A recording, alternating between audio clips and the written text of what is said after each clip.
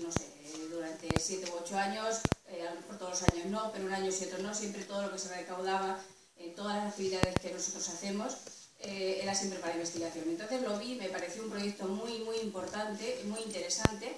y entonces no sabía cómo, pero bueno, pues precisamente por las nuevas tecnologías que me metí en internet, contacté con el, con el doctor Marchal, con su teléfono, con su correo electrónico,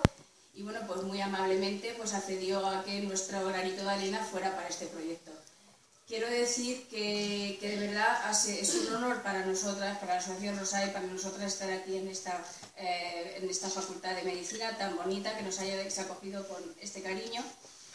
Y sobre todo, de verdad, dar las gracias porque todas las personas que estamos luchando tantos años con esta enfermedad, saber que hay alguien detrás de nosotros que sin tenerla, eh, que esté apoyándonos, que esté trabajando y que cada día estén buscando nuevas eh, técnicas para que nosotras, nosotros en general tengamos una mejor calidad de vida, porque, a ver, el cáncer de momento creo que no se puede evitar,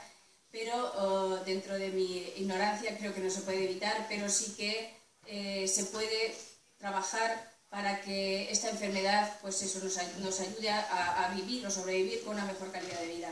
Y bueno, pues simplemente dar las gracias, como no, en nombre de todas nuestras compañeras y en el nuestro. Y desde luego, no sé, tengo que consultarlo, pero nosotros es la primera vez que lo hemos hecho, pero yo creo que gracias a mis compañeras no será la última que estemos en este proyecto y os seguiremos apoyando.